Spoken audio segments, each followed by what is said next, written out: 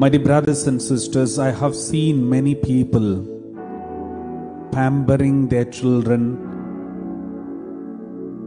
extremely. And I also have seen people giving more importance for their children more than even God.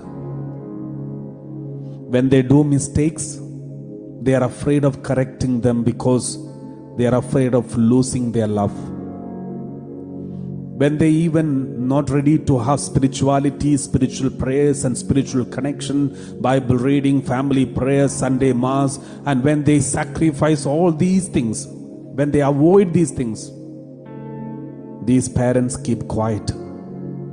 They don't correct them from their childhood. Now they have grown up and they don't want to start spirituality and spiritual life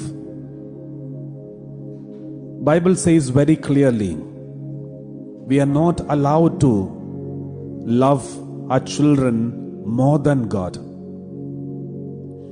If we love anybody even children more than god they will lose their protection. They will lose the protection of god. We will lose the protection of god we read like this in the word of god first samuel chapter 2 verse 29 first samuel chapter 2 verse 29 we read why then look with greedy eye at my sacrifices and my offerings that i commanded and honor your sons more than me by fattening yourselves on the choicest parts of every offering of my people Israel. The Lord says, He God is getting angry with the prophet because he was honoring his sons more than God. He was just keeping quiet even when his sons were making terrible mistakes. He was keeping quiet. He was afraid of his children. He didn't want to correct his children. And the Lord says, how come you honor your sons more than me? How come you honor your sons more than me? Many times we are so afraid of correcting our children because we are afraid of losing their love. We don't care about losing the love of God.